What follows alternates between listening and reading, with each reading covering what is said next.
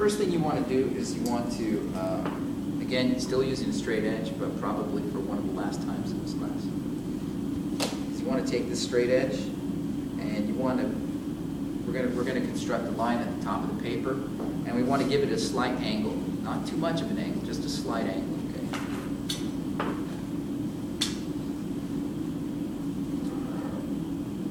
You'll want to strike a line from the left going to the right. Travels in this direction.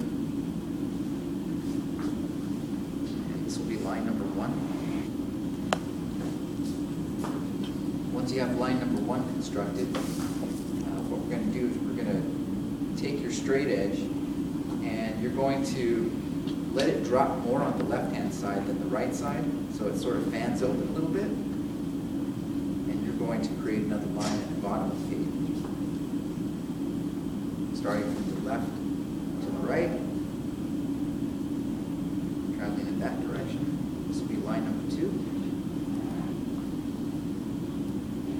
Then what you're going to do is you're going to take your straight edge, of 30, 60 degree triangle, or 45, or whatever you have. And you're going to line up, line up the bottom edge of the triangle, either with the bottom of the paper or the top of the paper. You want to line it up with the edge. And you're going to strike a vertical line down the, um, connecting both of the top and bottom horizontal lines. Right about there. That's line three.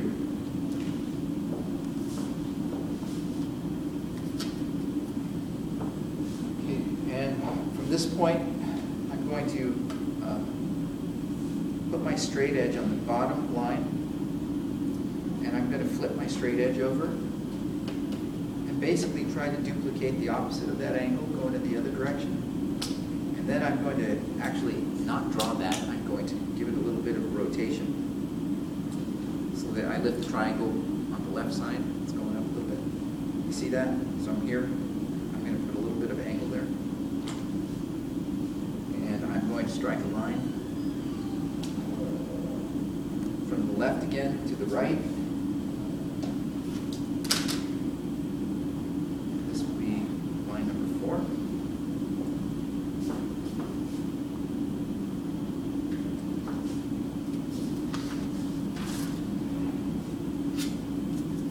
And from here, I'm going to uh, create another vertical line. Again, it's very helpful if you take your triangles, uh, one of the edges, and line it up with the edge of the paper, just to make sure you're doing a straight line. I'm going to take place on this line here. On the low, on the number two line, I'm going to strike a vertical off of it. Traveling up in that direction.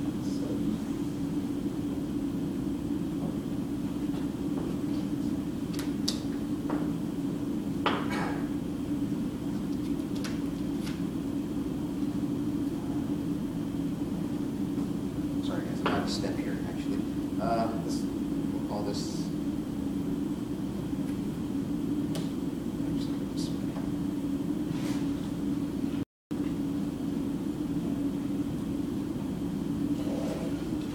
I Forgot one line. Uh, This line here is actually line number five.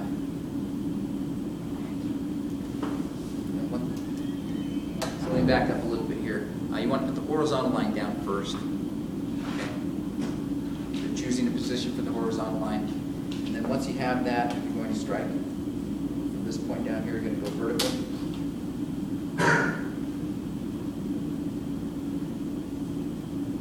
That'll be line number six going out.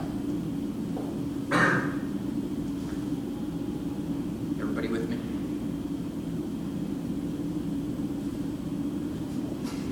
Okay, so, so this horizontal line, I've basically chosen a position on, on this line here. I've basically just chosen a point and I've struck a horizontal line across. And then after I've done that, line number six occurs, I go vertical. Okay, just so there's no confusion. Okay, so line number six meets line number one at this point here. So what you need to do is take your straight edge, place one of the, the, uh, take your triangle, place one of the edges on the edge of the paper, once you got it lined up, create a horizontal line, cross like so.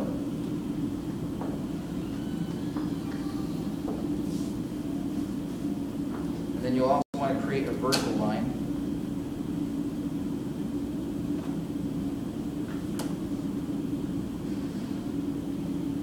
From this point. So if you go to line number five and move to the point where line number five intersects line number four, you're going to create a vertical line. And the vertical line will extend to about a point like that.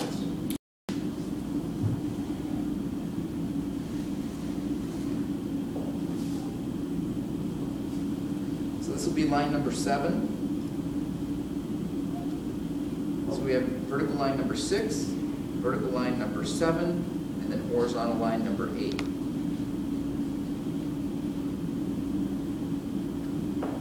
We'll go through this again.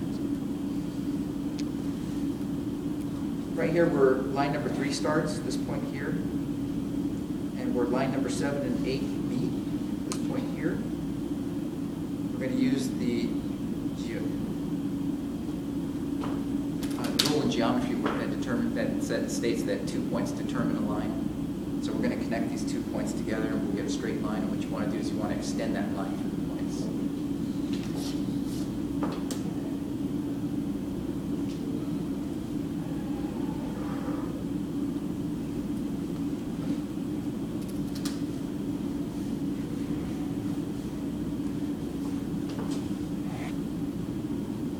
So it's line number nine.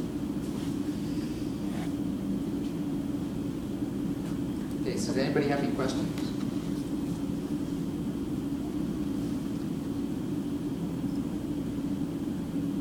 Everybody ready to go? Okay, so here we go. We're gonna do this one more time, okay?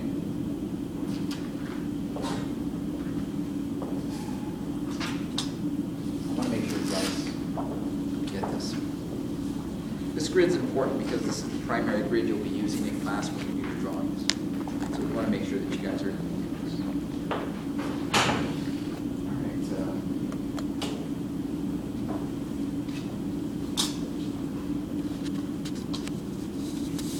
A little quicker this time. So one line going diagonally across the top. Take your straight edge and open it up a little bit on the left. Another line down. Traveling in an upward direction. It's line number two. Line up the bottom edge of your triangle, strike a line between the two lines, going vertical. Line three.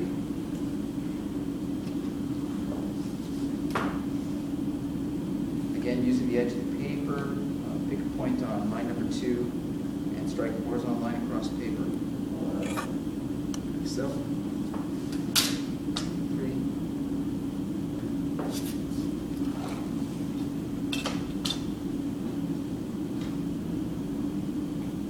Vertical line off of point three. Going up to line number one.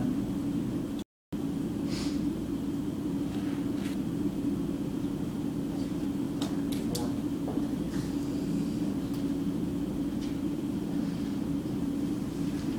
Sorry.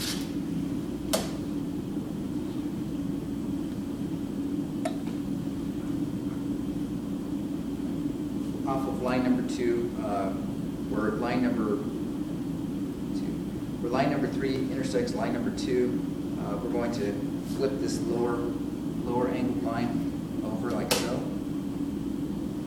Give it a slight twist.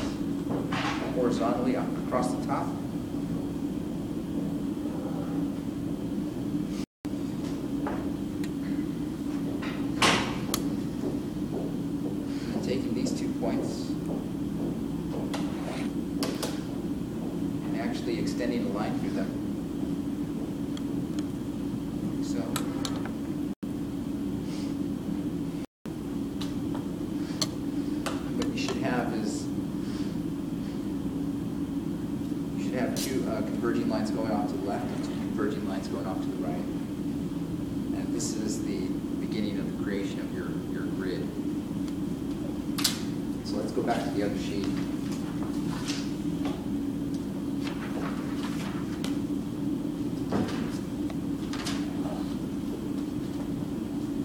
Okay, so we have nine lines here that have been used to create uh, uh, basically what are two converging lines going to the right, two going to the left. Uh, Now what we need to do is we need to put grid lines, we need to construct grid lines between these two. The way we'll do that is we'll, we'll construct, uh, what we need to do is we need to measure points on these lines. I'll show you what I mean right now. What we're, what we're about to do is we're about to put grid lines uh, in a fashion like so. And in order to do that, uh, we want to actually measure on this line so that each of those, uh, each of those converging lines are spaced equally apart. One technique that we can use is we can take a sheet of paper. We can place this paper next to the vertical line in the center. And we can mark off the, the point where, where it meets the second converging line on the bottom. And then what you can do is you can take the paper and you can take it and fold it down so that the corner of the paper touches that point that you just put there. Give it a little bit of a crease. You want to make sure that you, you're denoting this edge as being used for the center vertical. If you put like a C there, let you know that that was used for the center. So by folding the paper and creasing it, I've just located the center point of that line. So I can put a little mark there on that vertical line, indicating where the center is located. I'm, I'm just putting enough of a mark there that I can see it. This may be too dark, you may want to be a little bit lighter than this. Okay, so now that I've determined the center of that vertical line, I can take the paper that I've just creased, I can put the crease on the point, take that corner and put it back on number three, and I can fold it one more time. So what I'm doing is I'm taking the corner and I'm folding it towards the crease that I put on the paper, and I'm putting another crease there. And in doing so, I've located the center between the three and the center. Sounds a bit confusing. But do you see what's happening here?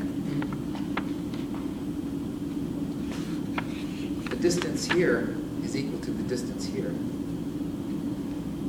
And likewise, I can use these two creases that I put on this edge of the paper to make, to measure, to off more points along the vertical line.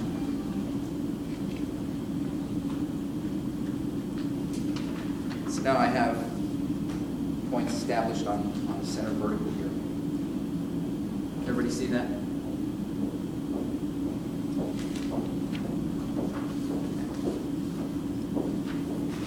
So taking the paper that I'm using as a measuring device, I'm rotating the paper and using the clean side of the paper, and I'm moving over to one of the other verticals, one on the left-hand side. And I'm very carefully putting the edge of the paper on a point, on the top point, and I'm basically eyeballing the bottom and very accurately, or as accurate as I can possibly be. I'm making a mark on the paper. Now I have, I have two, I have two points that actually uh, measure the line. And what I'm going to do is I'm going to take this, this corner and I'm going to fold it down towards that little pen mark that I made at the bottom. I want to be as accurate as possible when doing that. Put a crease. I'll open up the paper and the crease will represent the center of that line. Put a small mark there.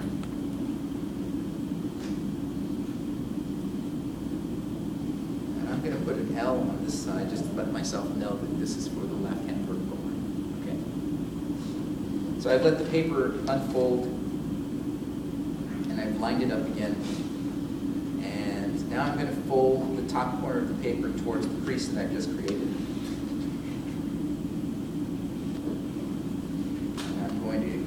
rip the paper a little bit, unfold it. And I've just found the center between these two points.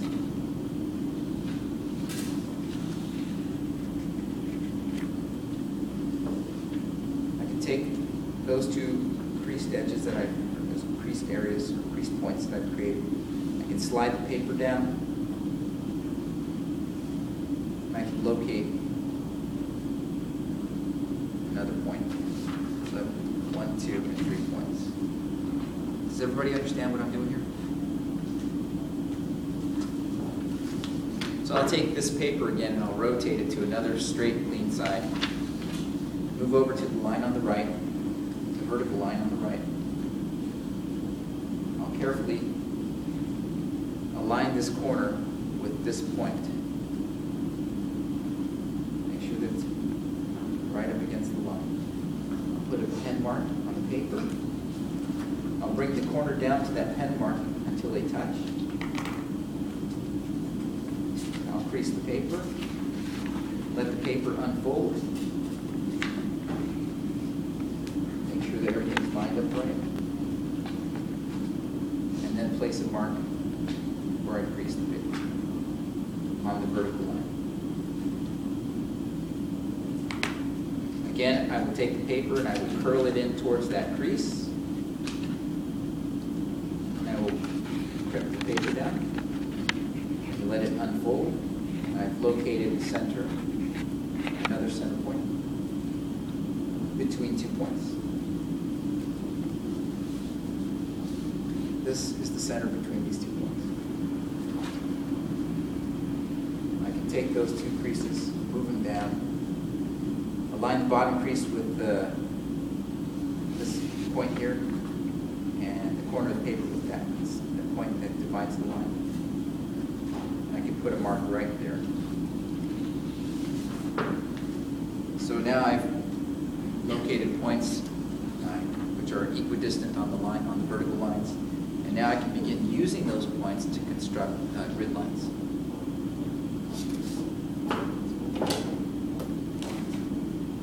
Starting from left, going to right. I'll take these two points. Construct a line. These two points. Left to right. These two points. So I'm, I'm totally ignoring the vertical line on the right. Until I get all these converging lines drawn for the left, for left convergence. And then I'll do the same thing for the vertical line on the right.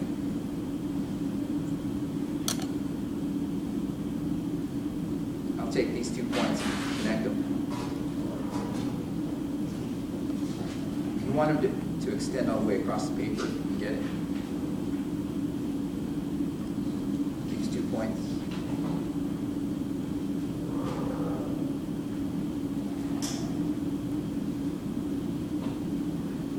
These points here.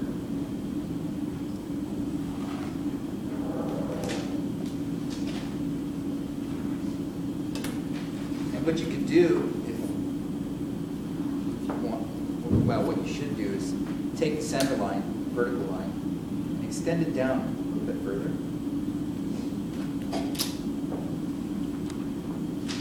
And then take your, take your paper that you use to actually make your measurements. Find the one that has the C on it for center, for your center vertical line. And take the creased edges, or the creased uh, points on that edge. And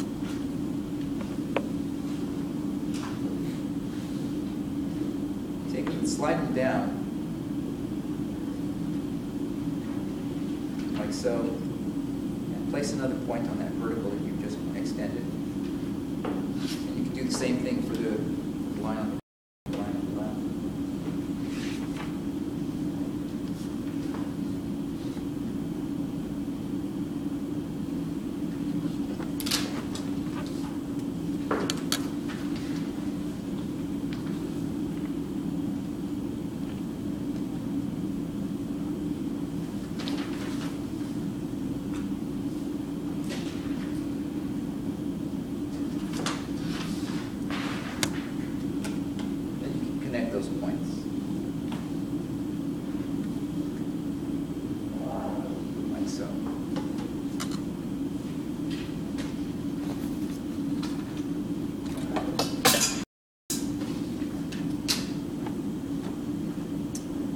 same to the top.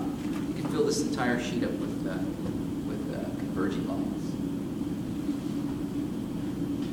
So this is the brewer grid. Uh, This is what a lot of your work is going to be based on or sketched over. And uh, if we don't, if we don't create this or if we don't set this up correctly, uh, all of your work will end up uh, having some discrepancies in perspective.